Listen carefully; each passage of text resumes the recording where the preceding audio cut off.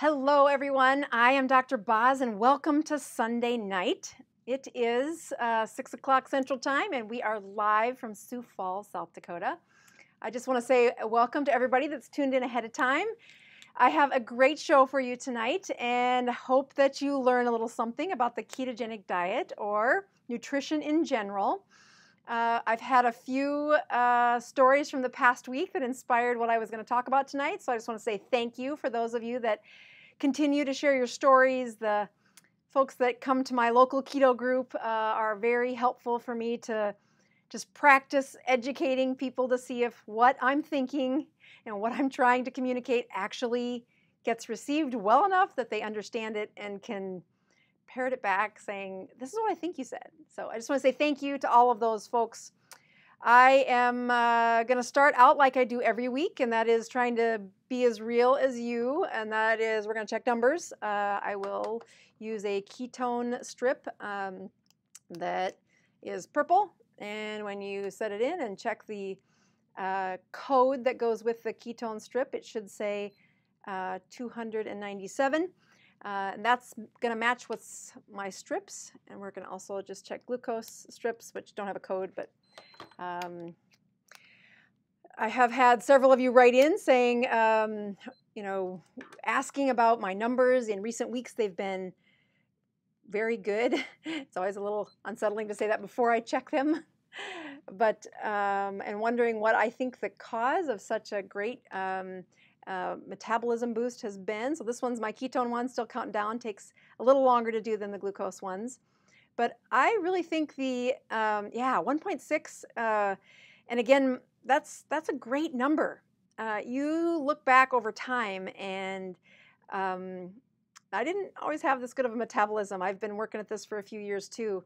And uh, we're going to check the, these numbers at the end of the show, but people have said, why do you think your metabolism is so strong in recent weeks? And if uh, you look back a couple years ago, my normal ketone numbers were 0.6, 0.8. Um, I still, I started fasting once a week, um, really because a few patients needed somebody to walk with them on a journey that they didn't think they could do. And I said, well, I'll do it with you. and then I posted my numbers publicly, and then I've continued to do those uh, weekly fasts. Originally, I did eight of them, uh, and I did 72 hours. It wasn't the first time I fasted, but it was really first time I fasted publicly. And then since then, I try to at least fast until my Dr. Boz ratio is 40 or less. Um, in recent weeks, I've been, um, so that was a couple of years ago. But outside of fasting, my ketone number was rarely above one. I mean, maybe 1.0, maybe 1.1. And the process of how it's grown over the years, I think, has been um, there's been times of a stall that it I couldn't get it above 0.7, and I couldn't hardly get my Dr. Boz ratio to a, a, a number of 40 or less without fasting. And uh, I have continued to make a little bit better choices in my foods, continued to take out even more of the things that I still like, but probably don't do such a good job for my metabolism. But I really think the last few weeks there's been just a very nice increase in my ketone production. And I think it's after I did that, my husband would call it a harebrained idea, to do a, a sauna a Finnish sauna, which means there's these stones and you put water on them and you heat up with moist air uh, twice a day for a week. Uh, we started out the week thinking we could do it for an hour twice a day. By about the third day, we said, forget that. we can make it a half an hour, we're doing great. Um, and then by the end of the week, we were at like 24 minutes and done. Uh, but twice a day. So we really kind of challenged our metabolism, really stressed our mitochondria uh, during that week of, of uh, using a sauna. And I really think that's why my ketones have just been really good ever since. Um, on my Instagram, I was really good that week about posting the, the sauna journey. Uh, but I really haven't posted much. I, we are trying to do the sauna once a day. Our goal is to reach seven times in a week. And you know, if you set it once a day, that's great. And if there's times when life and kids don't let you do it once a day, then we bounce out of that habit and try to get in two in a day.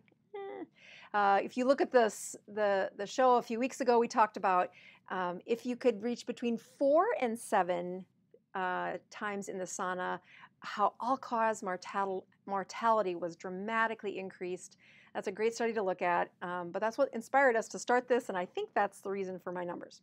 All right, so tonight I try each week um, to start my fast somewhere in Sunday. Sometimes I do it start on Saturday, but um, we had all three of our sons home uh, this weekend, and so we did our traditional board game on Sundays, and we have a little food around the board game. So we did that over lunch hour. So I, I think I finished eating around 11:30 or so, and have been fasting since. So that's what six hours of fasting. But for 1.6 ketones, uh, that's pretty good at six hours fasting for me. Uh, what I'm going to do now is I am going to uh, take a um, take uh, MCT C8C10 uh, soft gels. Usually I take BHB uh, or exogenous ketones, and then I check them at the end of the hour. But this um, this time I'm going to take a handful of my MCT C8C10, and I talked to people that this is a little different way to increase your production of ketones. I don't. I'm actually kind of nervous about taking these because I'll be up late. it's a lot of energy. Uh, but in the spirit of showing you what happens when you take uh, supplements, you, those exogenous ketones are going to be in your circulation within minutes. Uh, we're going to see what my ketones do in an hour, or about an hour now that I've been talking for about six minutes, um, of exogenous of MCT C8C10. So give me just a second. Mm.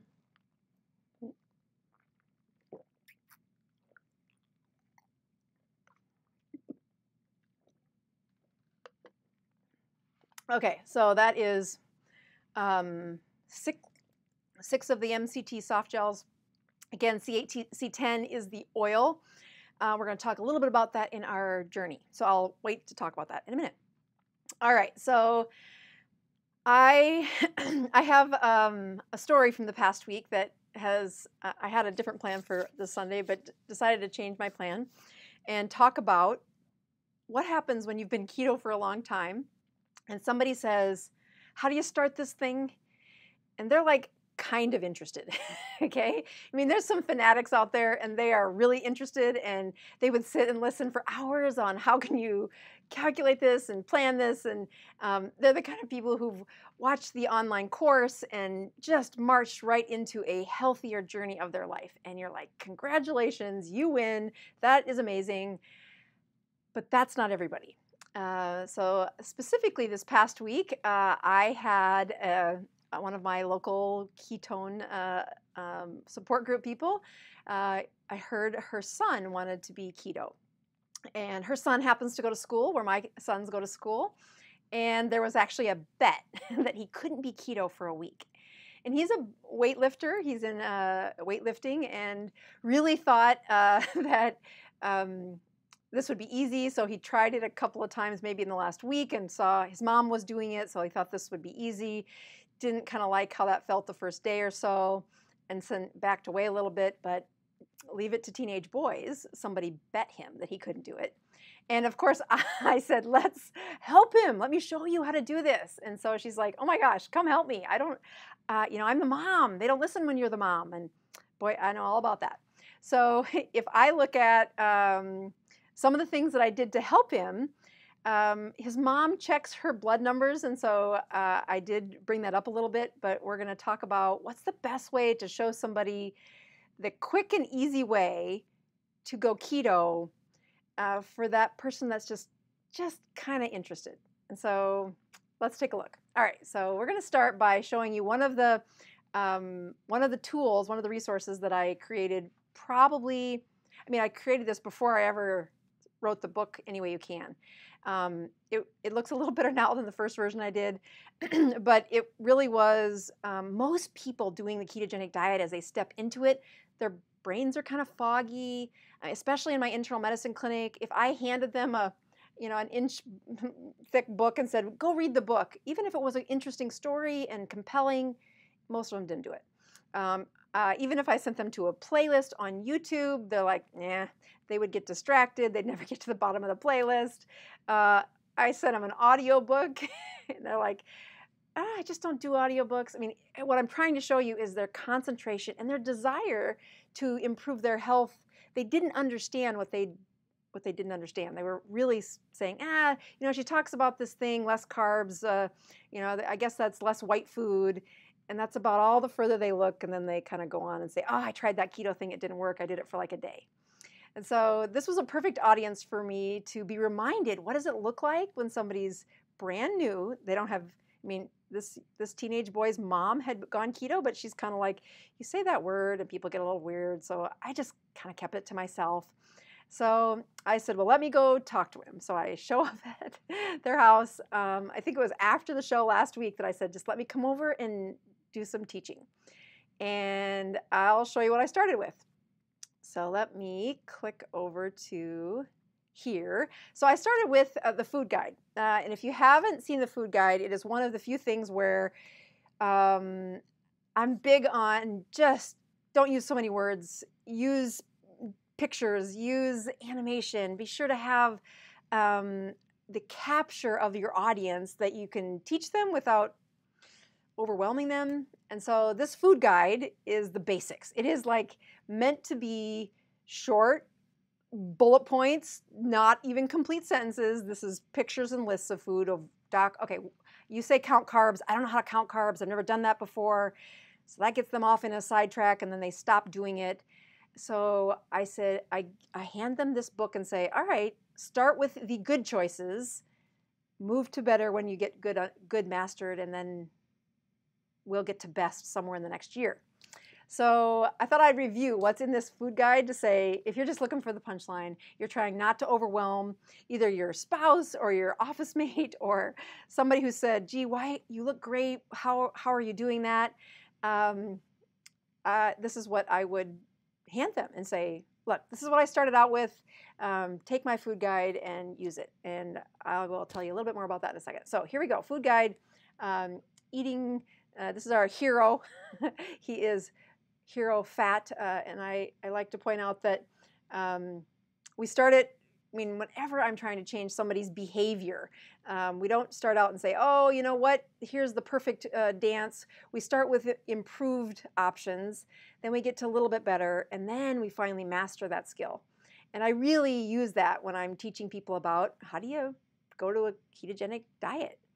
Um, so if they've been keto a while and they're like, you know, doc, I want your my numbers to look like yours on the show. How do you do that? Um, here's a great example for those of you watching, which are probably not newbies. I mean, there might be some new people out there, but boy, um, when I say if you really want to get your numbers to look higher on a um, on a blood meter or on a urine ketone strip, exogenous ketones will do that.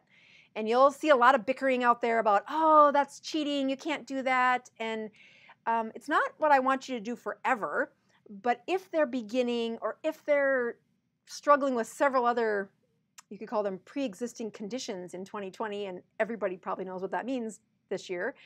Um, but the exogenous ketones have more than just this keto fuel, which will give them energy. They have, um, a, they are a signaling agent.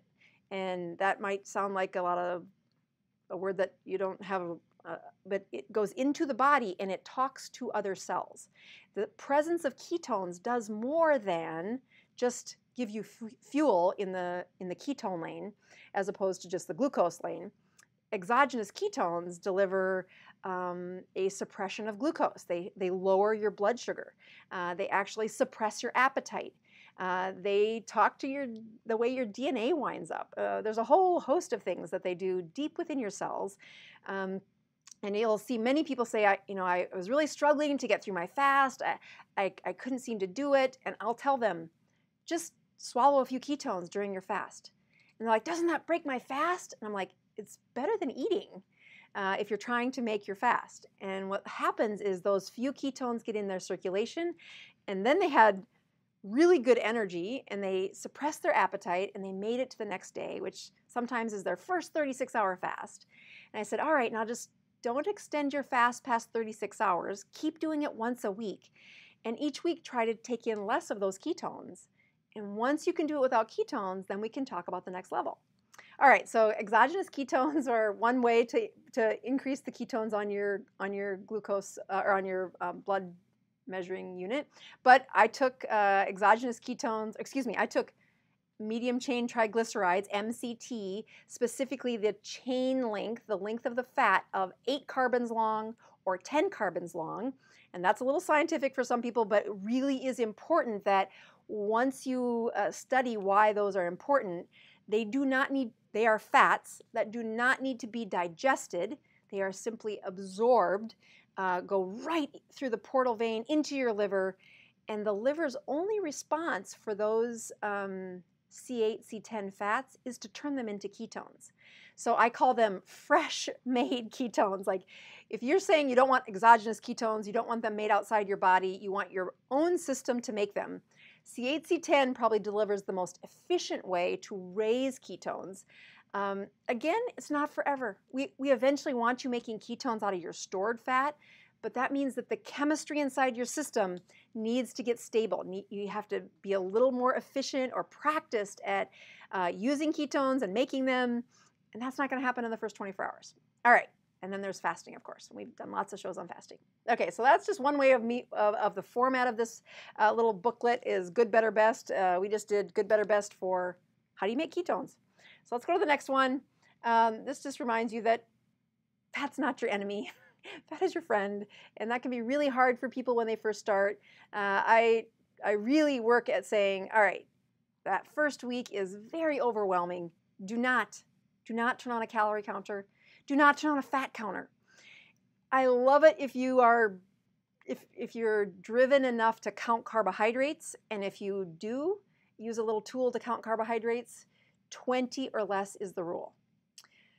So that is um, another like easy way to do this. Um, we talk about is it working? You can check um, the blood ketones like I check them, but I wouldn't have this teenage kid do that. His mom has a meter and can check his finger, and she did say that I practically chased him around the kitchen table because he, every time he thought we could poke his finger, he would be like, "Oh," and I've I've done that exact same dance with my teenage boys. So I will tell you that I'd have him use a urine ketone strip test. All you're looking for is did you arrive at ketosis?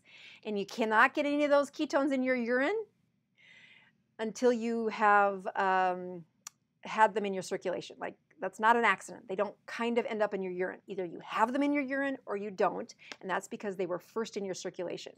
So I told this kid he probably doesn't even need to do that. He could, um, but what I was really focused on with this new newbie was, I want you to open up this uh, this book and tell me. Uh, we went to this page at first and said, "All right, tell me on this page what would you eat?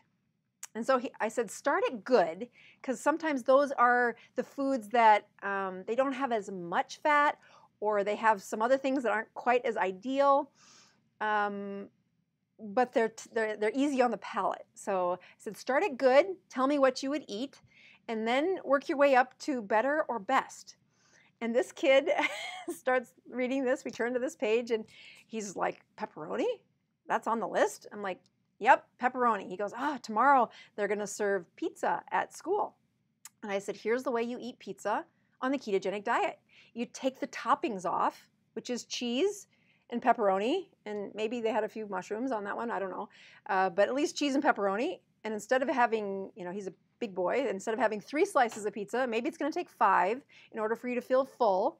Just don't eat the crust. Just scrape the top off and eat those top uh, toppings and he was kind of surprised like really that's like that's the best part so he started there but what happened next was what made me laugh so hard uh, and that is that his mom was looking at the list too and um, where did my where did my can go mm.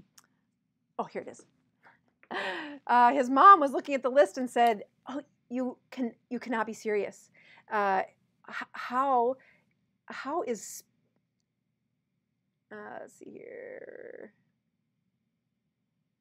I'm trying to find the right one. Here we go. Mm. Oh, I did. I know I did wrong. Uh, so I pushed the wrong button. she said, How is spam on the list? And so I, I have a can of spam here that I want uh, you to see. Uh, my husband bought this. It has 25% less sodium on it, which wouldn't matter on the ketogenic diet. Um, but uh, spam made the list. And she's like, Spam? Spam made the list? And I said, Look at the ingredients. Uh, she says, Isn't that like super processed? And she's like, You know, we have some friends who actually. Uh, they um, they eat luau loaf. and I said, oh, that's just a fancy way to say spam. They took pork, and they especially took the parts of pork that aren't quite organ meat, but they aren't the prettiest parts of the pig, and they put them in a loaf, and they put some salt on it. Now, this version has some carbs in it. It's got a, you know some little potato starch and a, a hint of sugar. But I'll tell you, um, when you look at the amount of ingredients on it, let me just show you this um, here when you look at how many carbs that has on it, you say, yeah, total carbs is one. So uh, in the world of options, spam is not bad. I'll be honest, the first time I ever, I grew up on a hog farm, uh, and we might have had luau loaf, but we didn't call it that. the first time I ever had spam, I was on a mission trip, and canned meat was what was in the grocery store, and these amazing Haitians fried up some of the so we were we were tired, we were hot, we were sweaty, and some of these Haitians fried up some of the best smelling meat. I'm like, what is that? And of course, it comes to you on a plate, and you don't ask questions about what it is because you're so hungry. And afterwards, uh, I said, "What? How do you make that? What is that?" And he said the word spam, and I'm thinking, okay, there's there must be something wrong with the translation here. You, you did what? And then he shows me the can, and I'm like, that's spam. it was it was delicious. I was so hungry. I was so thirsty. The salt tasted amazing. This was way before I was. Uh, this was like you know almost eight years ago now, and I'm like ever since then. There's always been spam in my cupboard. Uh, but looking at spam, he said, "Okay, I would eat that." And his mom is just looking at me like, "You are gonna, you're killing me. My husband has been a spam lover since we got married. We're 20 years into this game, and I've been telling him how terrible that is for him." I'm like, "I'm not on keto." Now, don't put it on a cracker and don't have it with toast, but it, it's a great option for the ketogenic diet. All right, so let's keep going here. Um, let's see, there we this one here. Uh, maybe, no, hold on. this is what I was looking for. Thank you. All right, so if we look at, uh, back, go back to our food guide and say, what, what else is on there? Of course, um, I can't get through a lecture without mentioning Braunschweiger. And I'm from South Dakota. I often tease people that if you want to know uh, what your culture of food looks like, uh, go to your local gas station and see what's sold. So in some parts of the world, you go to local gas stations and they have different foods I've never heard of. I only learned this while on a mission trip, like such as spam. Uh, but if you go to the food uh, stores in South Dakota that are kind of like that, the Country Mart where it's got a lot of things and it's the gas station, um, you'll find Braunschweiger or liverwurst in a yellow roll in the gas station. And I, uh, I can't help but say, well, why, why would I bring that up? So going to um, here, and um, we're gonna take away this and go here. All right, so here is here is some of the vitamins where if you did look inside the book any way you can, there's this chart that says, here are these foods that have different kinds of nutrients in them. And I always talk about eat, eating liver and sardines. Now, when you look at this chart, the, the red circles are around the the vitamin with the highest number on this chart. So if you just look along the liver um, uh, row there, uh, and, and, by liver I actually do mean liverwurst. Hold on here just a second. Um, and if I click here, if I click here, um, I don't know if I can get it to do that. Hold on. Don't give up on here. No, that's not going to work. All right, so you can see where liverwurst is. It's the second row from the bottom. In, that row, though, um, it wins like over and over and over again for the for the different kinds of nutrients. Now look right above that in sardines, and you can see sardines has 8.9 in the red text. That means it was number two. And if I thought that was relevant, I tried to put it in red text for you. Uh, vitamin E and then choline, uniquely enough, is sardines. Just we're going to get to eggs in a minute. Notice eggs wins for choline uh, and folate, and uh, number two for folate, and number two for um, B5. So you you hop over to um, the minerals, which again, uh, especially looking at sardines, it gets number two for calcium, number two for iron. Liver is the one who wins for iron, and then the other minerals. I mean, several of them the sardines went out on, and you can't get out of the, the first few videos when I'm talking about what types of foods do I really ask people to take away their biases because I don't think the marketing team for liverwurst or sardines did a very good job of what nutrients you get out of this um, and and be willing to try it. So when I look at liverwurst, this is from my local meat store. Uh, here in Sioux Falls, we have an awesome meat store. We have Looks Meat Store, and uh, I don't have any endorsements for them, or I just love how well they supply their Braunschweiger. So I'm going to bring this into a little bit more focus and say, yeah, it is uh, liver sausage. Uh, that's German for uh, liverwurst, Braunschweiger. And then I like you to see uh, the ingredients, which is like four words. It is pork. It is uh, is it pork liver. It is pork sauce, uh, pork salt, and then some spices, onions and spices. I mean, I think that's amazing. If you if you were watching in the last couple of weeks, we went through some different fats, and we talked about not having trans fats in your ingredients, and that total fat gets up there at 17 grams, and that's for like, I mean, the serving sizes on this was yeah, there's four serving sizes. So to eat the whole thing, which may sound ridiculous to many of you, but is not hard to do if you like it. I like it. Um, I grew up on this, and so I tell moms it's your job to expand the palate of uh, what your kids will eat, and that means they have to taste it.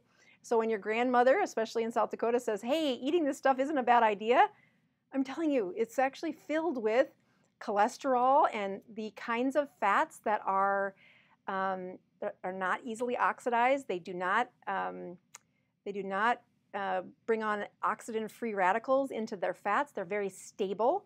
Uh, and that is really one of the biggest predictors for whether or not it's going to, what it's going to do inside your system. So there's Braunschweiger. Um, but for those of you that have been watching me on Facebook, um, the other thing I want to point out is this is another way to get beef liver. Um, and again, I don't have any endorsements. I just was looking for ways that you could get liver. I'm going to hold this up there and say, look at the number of uh, uh, ingredients that are found in that. Uh, so again, your saturated fats, zero trans fats, your carbohydrates you have a little bit of, but nothing exciting. And then you look through those vitamins and you're like, yeah, and what did they put in it? They put grass-fed beef and some sea salt and they dehydrated it. So I'm just going to take a taste here live. I, I've had a few bites before, and I find it fascinating. Uh, again, getting people to eat liver is like, I don't know, it's almost as offensive as saying the word keto to some audiences. Um, but I look at uh, the, the liver, it's, it's like a chip. So if you're looking for something to dip uh, high-fat, it tastes like liver. I mean, it's actually really crunchy. You, you get a taste of liver, but really not till the final third or fourth chew. So hmm, I like it. Um, so there's another another option for how do you get liver inside your your palate. All right, and then finally um, on that same, um, actually not on that one. Let's go to our. Um,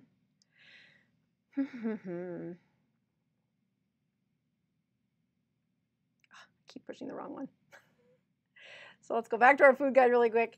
Um, go over here, and we are going to scroll up to. Um, I mean, it's easy to look at some of the pictures that are in this food guide and say, yeah, yeah, yeah, ribs, um, perfect. Some marbled steak, and those are, of course, what people first think about with a ketogenic diet. So I don't think they need much advertisement. But when you get to some poultry and eggs, I, I really point out that um, again, good. You'll get people who use chicken breasts and slices of chicken. Well, this kid said, pheasant? Now we're from South Dakota, which is like the mecca for hunting pheasants. And if you're like me, you're like, like I'll eat liver, but pheasant, mm. and every person in South Dakota says you just haven't tasted my pheasant, and I'm like, and I don't want to. but pheasant and duck are actually very fatty birds. Um, but some more popular ones. The kid, when he, he said there's pheasant on here, and he likes it, so his mother must have a trick or something. Uh, but Buffalo Wild Wings are the other place where I tell patients just if you like that, eat that. Eat that until you're sick of it. Dip it in some really heavy fat dressing, not the low fat ranch dressing. I want the blue cheese made out of real blue cheese. Um, those types of um, of tastes will keep them on the ketogenic diet but uh, don't have it with soda pop or beer. Uh, you're you're gonna see alcohol here in a second. So then they scroll down, and this is just a picture of that's in the the opposing um, uh, phase to that one. But what I really want you to see is what's under the the fish, the shellfish, uh, fish and shellfish. So you go to good, and honestly, cod, I suppose. This we're from the Midwest, so you're probably not going to find even he, he, oysters did not pull his attention in. Um, but he'd actually heard of sardines, not with a lovely face or anything. Um, but I, I think it's worth just showing you. Uh, okay, so here, here is mackerel. Um, mackerel again, easy, cheap, safe. This is in olive oil. It's great if you can find it in actual fish oil, but we can't. So olive oil is what we buy here. And um, I like to point out the ingredients in this one. Just check that out. It is, yeah, fish and some oil and some salt. So again, the fats that are in it, pretty low. And I just think that's amazing. Like it's a very easy food. The nutrients is dense. Um, this is where I push people to say, guess what? Um, if you haven't eaten um, mackerel or um, the let me quickly go here. If you haven't eaten mackerel or you haven't eaten sardines, uh, this is our Cronometer app, and I've done this a couple of times just showing you how I would look up food. So if you go to foods and then you type in mackerel, I already did this ahead of the show. And in uh, this case, um, I would, um, let's just see if I can blow that up a little for you there. Yeah, it's, uh, I would the, the serving size for this is, uh, yeah, 85 grams was what was on the can. And then you look at that. Um, guess what? There are no carbs, there's no fiber, there's no sugar. Uh, and you get to the fats, and there's like a lot of good fats. Um, you've got your monounsaturated fats, which is probably what the olive oil is from. And then you've got your fish, your omega 3, a little bit of omega 6, and that's the kind of omega 6 that's probably really stable, meaning it's not easy to turn into an oxidative stress. Um, and then trans fats are zero. Um, but almost more importantly, check out the minerals that are found in that can of sardines and the zinc. Uh, I think there's some vitamins up here, yeah. The vitamins, again, people say, how do you get all your vitamins on a ketogenic diet? And I hand them that little book and say, what will you eat? And that's where we start. So let's go back to uh, here and there we go. All right, so we're going to keep going through our little book here really quick because there's a couple other things I like to point out. So um, one of the challenges that I do in the uh, online course is that I tell people they have daily challenges for like the weeks two and three, trying to get them to like get out of what they don't know that they're locked in a shell of thinking. I'm trying to kind of push out of that habit into a, a place of other ideas.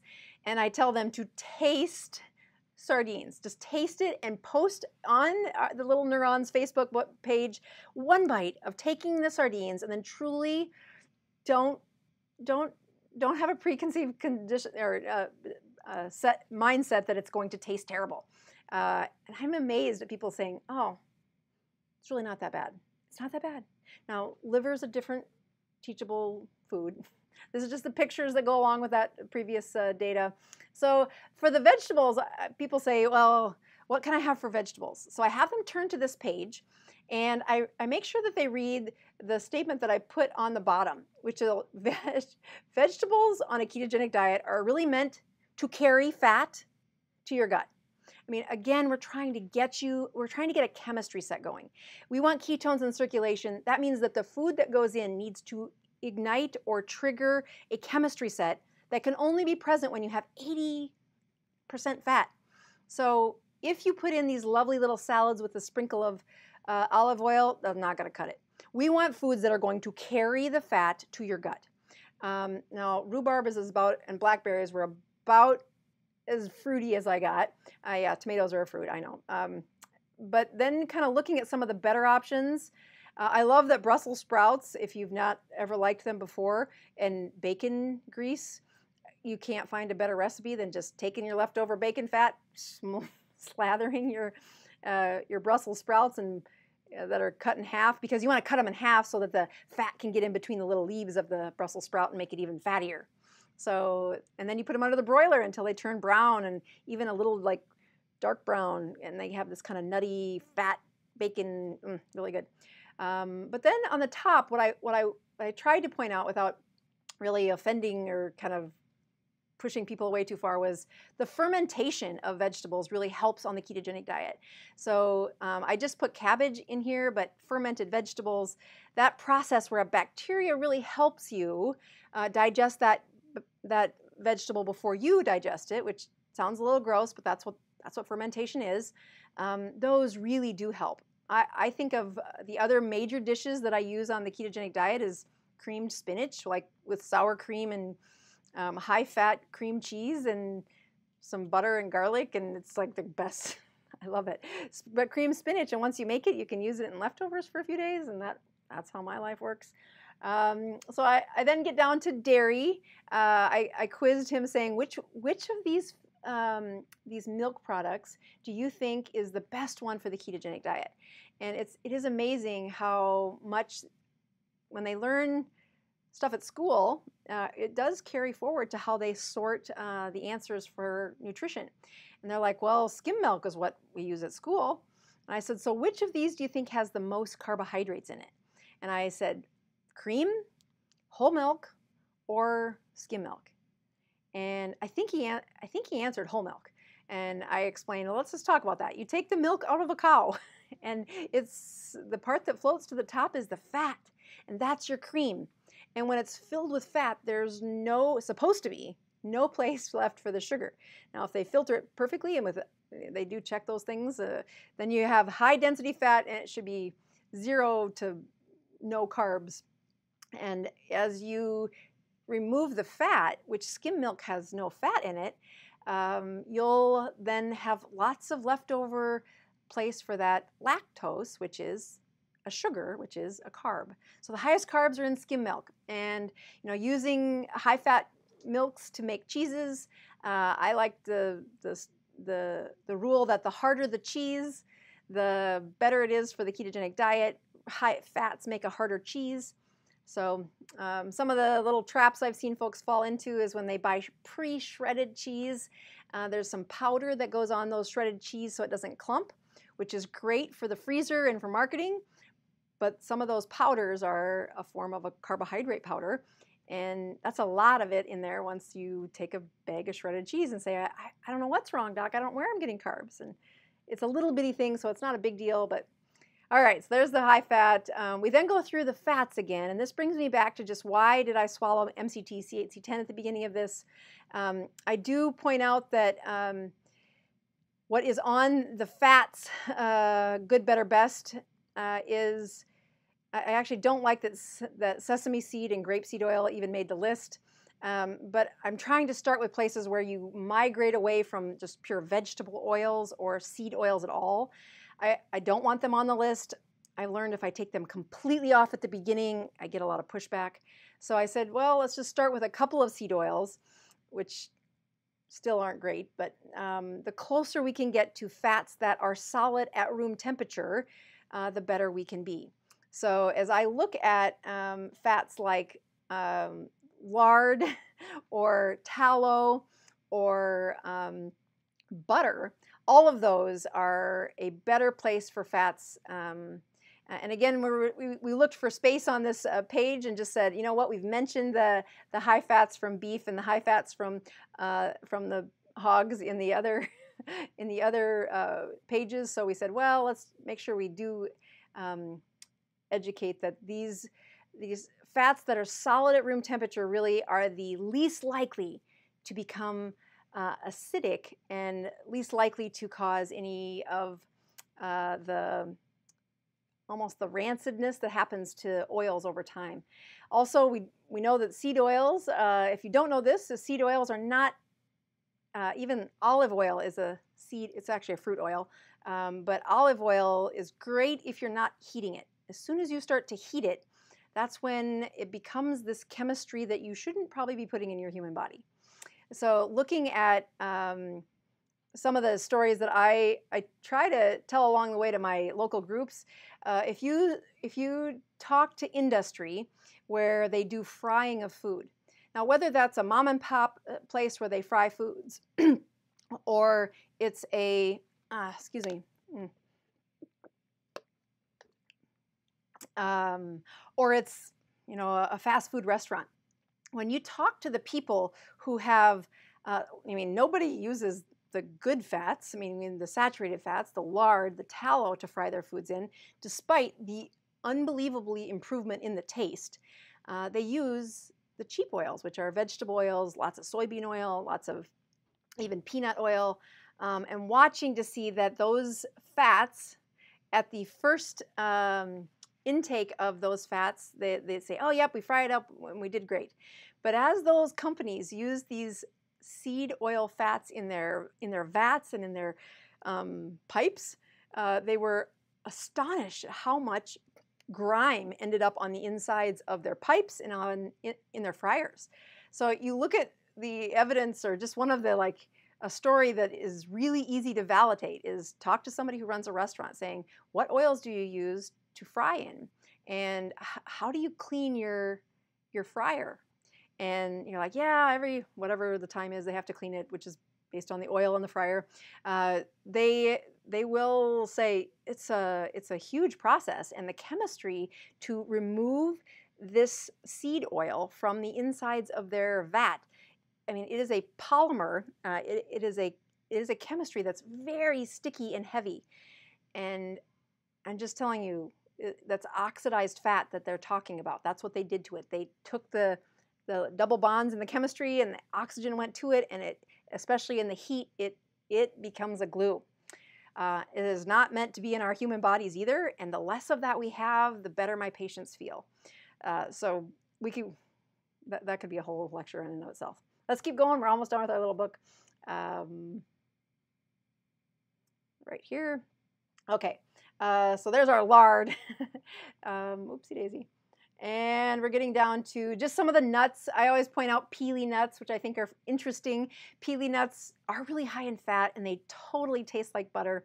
Um, I've, I've only actually seen them in a few places that are um, like uh, the industry, um, like food shows, uh, like ketogenic food shows. Uh, pili, uh, actually, they come from the Philippines. Uh, that's where they're, they're naturally from. And you can have an allergic reaction to them, so just be careful. But oh, they taste like butter. So great nut, very high fat. Again, macadamia nuts is a is a good good answer there. But when this kid saw that there were nuts available on the on the diet, that's was that that's where he said, "Oh, I could do that. Oh, I could do that." And again, what he's doing is getting away from some of those other snacks that, um, like when people say, ah, I'm just really struggling with potato chips or with um, with uh, crackers. Um, and yes, the carbohydrates are the enemy uh, as far as the ketogenic diet goes, but I would also show them that the answer for uh, feeling better is just they're almost all fried in seed oils. And it is really hard on your brain and your body when you do that. So if there's one reason to find a different snack to snack on, uh, that's what that's what I would recommend. Here's a here's one of the examples that I found is a it's a cheese that's again um, used to to be a snack and it's crunchy and it's salty, but I love the ingredients. Um, where is it at? Here we go. Yeah, so uh, let's see here. Here we go. Yeah, it's a cheese, and salt and a few little like little extra color. So again, the, the, highest ingredients in a product is the first ones, the, the last ingredient is the lowest ones. That's uh, one of the rules for a label. And this is a great way to say it's not seed oils that you're swallowing. Uh, it really is just dairy cheese, and I know some people have troubles with dairy, but there are lots of other options out there to get away from um, even uh, the, the, the, get the salt, get the crunch, get the snack part of things at the beginning of the ketogenic diet. And, and really that it does start with what are the options. And so showing them which nuts fit, um, that's what a pili nut looks like. You definitely want to get that the skin off of the outside though. That's where the allergic reactions come from is their skin. So yeah. Um, anyway, uh, other things, when we look at what what drinks are best, again, a fermented drink like kombucha, very good. Um, carbohydrate free. so when you look at uh, the way I, I tried saying that, I was, okay, no cola or, um, you know, you could find about a million ways to try, oh, but then it's orange juice. So I just said, okay, you're going to have to look for carbs on the label for drinks because they're tricky. They really are. Um, even coconut and almond milk have plenty of carbs in them, but if you're looking for substitutes, that's another place to go. Um, better is coffee or some tea. And then uh, finally, um, you're, you know, and, and, this better was when you they add cream with it, they add some fat with it. Um, but if you get to the best one, it's where the coffee and the tea are black uh, and the mineral water and obviously has nothing else in it, just some, some minerals, yeah. Um, in the bigger picture, uh, when you're following that uh, keto continuum, when you're really going through the online course, when I have people who jump to best on the drinks and really skip that high fat section, I get a lot of comments and failure notices. This isn't working. I can't get my ketones up. And really, they have skipped over several of the processes that we spend a good deal of time saying, here's where many people fail on the ketogenic diet is they do not get the chemistry right before they try to move up to that best level. So when I had this uh, teenage boy say, what would you drink on here? Um, you know, I think he ended up with bubble water. I don't, I mean, I don't, it was not, actually, I think he said, well, my mom gave me one of your BHB drinks. I would drink that. And I said, okay, that's, that's a good place to start because it does have a sweetness to it. Um, and that helps for his uh, addressing of what you know, what he could drink. Um, all right, so let's go to the sweets. And of course, the best one is none. Uh, again, addiction is real. Uh, using other ways to help satisfy your sweet, uh, your sweets. Um, when this was made, I'll tell you that uh, the um, allulose was not very common. At least I had heard of it in the science, but I really hadn't found it in the stores. So today I would change that those those substitute sugars that um, allulose might get my number one actually. Uh, the science behind allulose is amazing. I do a good good uh, deep dive of this in my book that's coming out. Uh, and stevia, monk fruit would still make it. Erythritol um, for gum or for mouthwash. I'd probably still use it, but I probably wouldn't use that anymore. Um, but again, it's on the good list, so you're starting with improvements. Um, using other tricks to get a sweetness in your mouth to awake, which is cinnamon or a dark chocolate. And then, of course, um, the less sugar substitutions, the less sweetness you have, the less sweetness you crave. Uh, that's really hard to convince somebody on the first week of keto. So I, I just said there's ways that I, I mean I told him he could have some BHB, which has some sweetness in the in the world of um, a ketogenic journey. All right, so again, alcohol always comes up. Uh, what can I have, doc? And again, alcohol does stop ketone production, so the best is, of course, none. But if you look, if you get some red wine, especially, there are companies out there uh, that really promote uh, testing how much sugar content is in each wine. Dry Farm Wines is one of those, and again, I'm not sponsored by them, but really do find I don't have any affiliation with them, is what I mean. Um, but they have been great at really leading the pack of evidence saying what does each wine uh, correlate to as far as a, a carb level. Um, again, uh, distilled liquors are the ones that do have no carbs in them. Um, but most of the time, I am going to push you towards no alcohol. Not only is it really good for your brain, uh, obviously, this 17 year old kid shouldn't have alcohol. His brain is very quickly developing, um, and it would stop that development by drinking alcohol. Uh, so, looking at his, uh, his, he skipped this page, thank goodness. Um, and then I think I just went through some of the other ways. Why isn't it working? um, and went through, you know, what are some of the common mistakes people make for the, on the ketogenic diet. So what I hope you saw there was um, a couple of things that I had an idea about when I first started teaching this, and it's come really to fruition about the ways that a ketogenic diet can be used. Uh, number one, this little book is um, it is made out of a non-terrible and waterproof uh, material because kind of like a um, uh, a old one-room schoolhouse where you passed on the actual physical textbooks to the next student, this should go through like three or four students before, I mean, maybe more. So once you've learned this, you're like, okay, I get it. Uh, pass it on to somebody. You don't, it's not hard, it's just weird. And when they first start out, maybe they don't know how to count carbs. And you're saying, how do they just begin? Handing them this little booklet and saying, guess what? It's not hard, it's just odd. Start by using this little book to say, eat anything in the book. And if it's in the good, great. Don't think you got to get to best for like a year. I mean, really give yourself real time to transition. Um, volume isn't as uh, isn't important, especially those first couple of weeks. We want them feeling satisfied. We want them feeling full. When they reach for satiety, uh, instead of reaching for, uh, meaning they reach for that sense of listen to your body, feel full. We want you satisfied with food. Um, and then we work them towards saying things like, you know, keto on that keto continuum, we start to improve their choices over time. And without being overly uh, detailed in um, how those answers come about, I meaning some people arrive saying, I did great, I'm ready for the next level.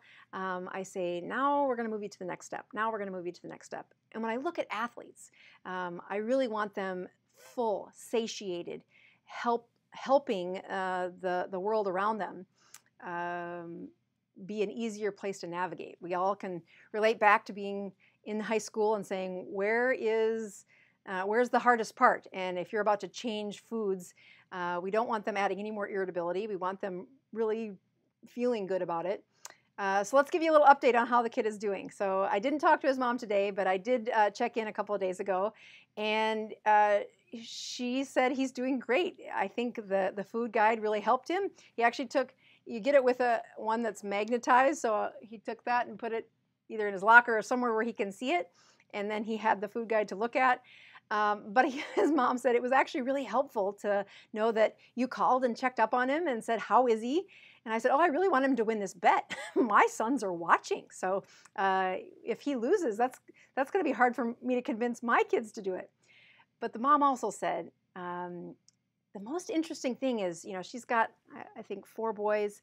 And she, she said, you know, he's at that age where he, you know, is really concerned about, um, or he's really tired after school. He must be growing, or he, um, you know, he, he gets up in the morning and says, um, What are we going to have for supper tonight? And she goes, I just noticed throughout the week that he stopped asking that question in the morning. He really gets up in the morning. I told him make bacon and eggs.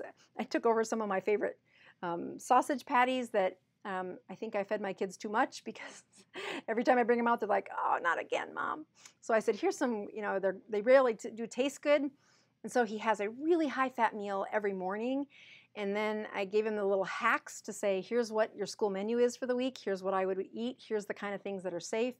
And then take some pepperoni and cheese with you. If you get hungry, get full. We want, we do not want you suffering.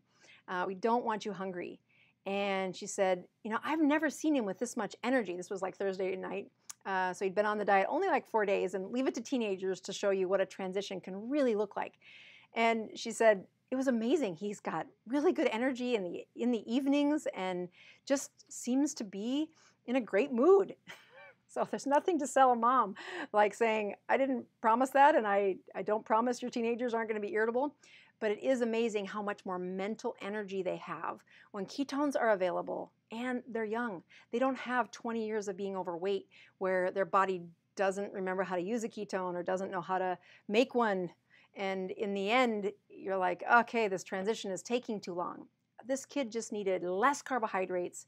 You know, when we say, oh, that spam is processed food, I'm like, it's not nearly as processed as your cereal uh, and, or your most breads. And those processed foods really sink their brain down. Their concentration is lower. That you can see their attention scan, uh, span bounces with their glucose, and uh, and it makes it very difficult to succeed. The process of improving him uh, is week number one. So we'll keep you posted on how he's doing, uh, but uh, he took the uh, little bit of instruction. I mean, I think it took me less than you know 15 or 20 minutes to, to sit down, ask him what he sees in that book that he liked, and just walk him through how important breakfast is, even if he hadn't been eating it before, and then some options for how to solve. Well, what would you do in this situation? What would you like to drink? So I hope you use it. I hope once you're done using it, though, uh, you give it to somebody. Just say, here, follow this, and pass it on to two or three students. I can remember in medical school, I would buy the used books. And as I would buy the books that were used, it was always helpful for me to see the writing they had put in the book. And I'd always pay a little more attention to where they'd written in it. So if you have one, maybe put your own little imprint on it that says favorite or um, tried it and maybe a date. And I just think it adds a little history to the book and who the next student could be. And I think that's fun. All right, let's go over to your comments. And while we look at comments, I will, oopsie, wrong one. uh, I will check my sugars uh, and my glucose because I will see what our C8, C10. It's only been an hour. You're supposed to be able to absorb it by like 20 minutes and hopefully make ketones by like 40 minutes. So we're right on the edge of that and this is just water. All right, um, so let's take a closer look at some of your comments here. And if you have a comment, go ahead and put it in uh, or questions. This is a great uh, opportunity where I try to answer them at the end of the show. And then even if you stay after, I try to peck away for a good 10 minutes to answer some more questions. Oh, I'm checking sugars. So yeah, putting the strips in and all right. So we have Vincent who actually has checked in several times. His question reads, Dr. Boz, I've been following your suggestions of adding one MCT capsule daily until no diarrhea. Now that's a really big deal. Um, many people, I go through this in the online course, that some of the things that really offend or really can't get past that first transition time of a ketogenic diet is if they can't absorb fat very well. Uh, a diseased or a inflamed or especially autoimmune issues with your gut. You can call it colitis if you've got a diagnostic book. You can call it leaky gut, which I don't like that word, but it's very commonly used. A leaky gut if you have, um, uh, sometimes have that. But one of the things that really uh, is probably the most difficult is what Vincent talks about is, hey, every time I increase fat, I get diarrhea. And so we look at fat malabsorption for that.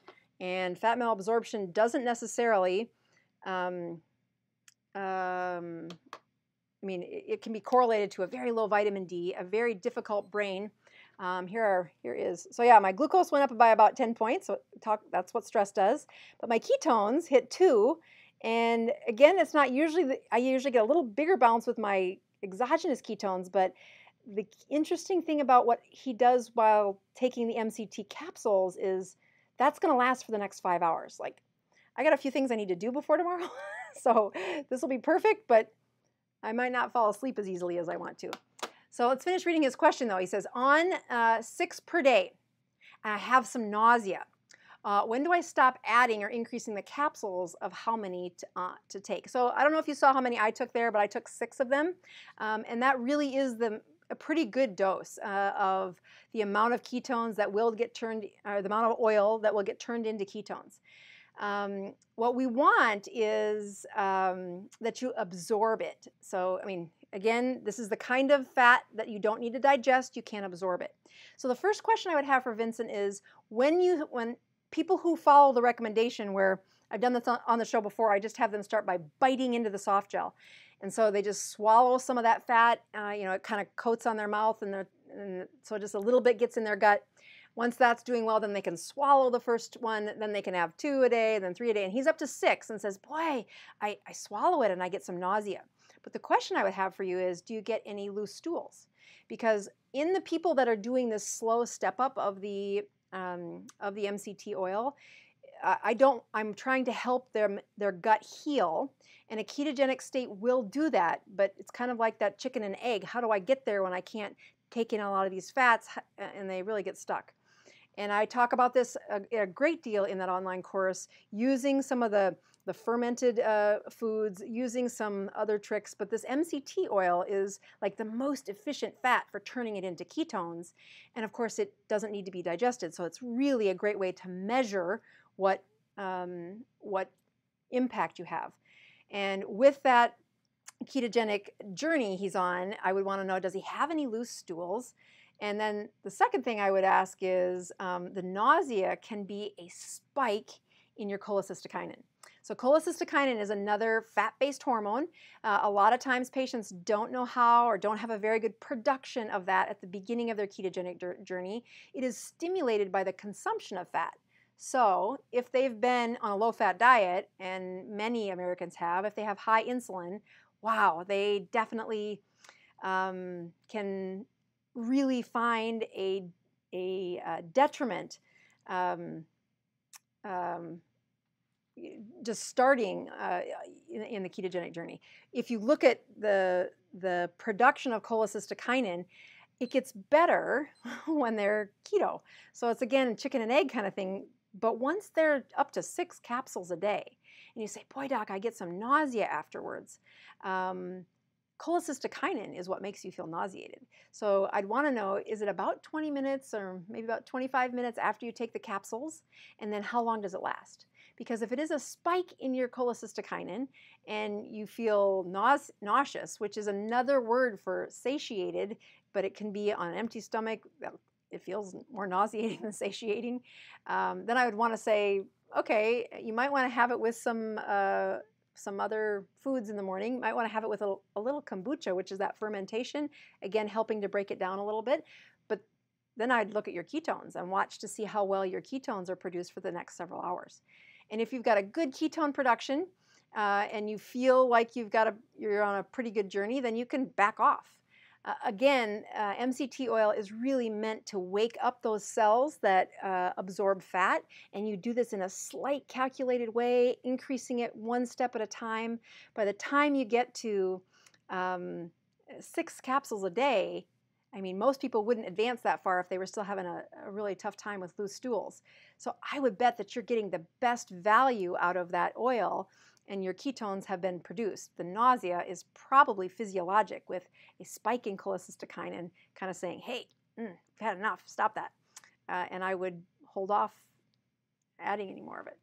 Um, the longer you do the MCT oils, the less you need to, to take. I mean, they are something where like most of the supplements. The only supplement that I ever, was it even with me? Um, oh, here it is. The only supplement that I would never have you stop doing is what K2D3. The rest of the supplements are meant for a phase. They're meant for you to heal that body, and then hopefully you don't need them. So if your body is doing well, um, we would say that you might not need those those uh, C8, C10. You might be able to make it from spam or Braunschweiger. Uh, the only vitamin that uh, is on the list for is the K2D3, and that that's another story we'll tell a different day. But um, what does my husband take? My husband actually takes MCT oil capsules. He takes, I think, four or five in the morning. Um, and he's allergic to stevia, so he doesn't take any of the other things. Um, he does take the BHB capsules if he wants some um, exogenous ketones, because I put those in a capsule. And that's what he takes if he's saying, ah, I, I just, he's feeling tired or wants a little boost of energy. Um, but he's way more methodical than I am, so he does it every day. Very good. Good job. Um, all right, we are at the top of the hour, and I will answer some of these other questions offline. I just want to say thank you very much for staying to the end, and we are signing off as Dr. Boz, improving your health one ketone at a time. Thanks, everybody. We'll see you next week, and I'll stay after to answer some of the questions.